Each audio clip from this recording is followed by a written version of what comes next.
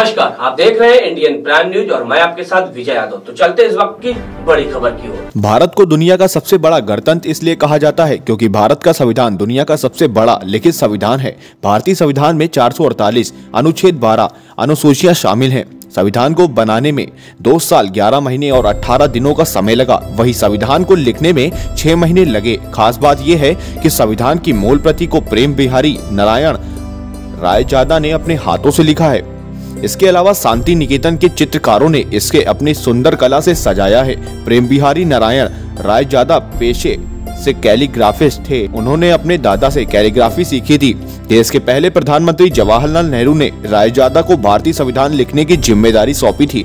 जब उनसे मेहनताना पूछा गया तो उन्होंने कुछ भी लेने से इनकार कर दिया था। भारत के संविधान को लिखने रायजादा को छह महीने लगे और इस दौरान दो सौ चौवन पेन की निब का इस्तेमाल हुआ। ये निब इंग्लैंड से मंगाई गई थी। भारतीय संविधान को लिखने के लिए पूना से कागज़ मंगवाया गया था। इटैलिक शैली में लिखे संविधान में रायजादा ने एक भी गलती नहीं की है। भारतीय संविधान की लंबाई 22 इंच और चौड़ाई 16 इंच है। भारतीय संविधान की लेदर वाइंडिंग की गई है। इस पर सोने की कारीगरी भी की गई है। भारतीय संविधान की मूल प्रति का वज़न तीन दशमलव पिछहत्तर किलोग्राम है। भारत का संविधान विश्व का सबसे बड़ा हाथों से लिखा गया संविधान है। कुल 2000 संशोधन के बाद संविधान का वास्तविक रूप सामने आया है। संविधान की प्रस्तावना हम भारत के लोग से शुरू होती है।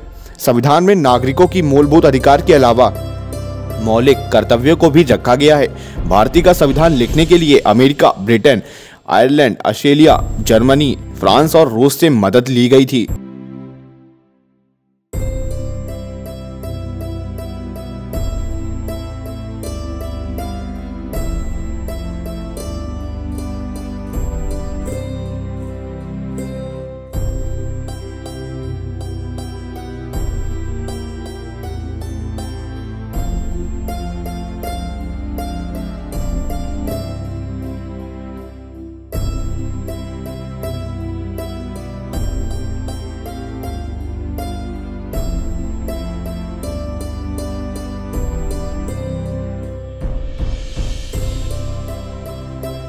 सभी देशवासियों एवं नगरवासियों को आशुतोष मिश्रा जिला संवाददाता की ओर से गणतंत्र दिवस छब्बीस जनवरी की हार्दिक शुभकामनाएँ।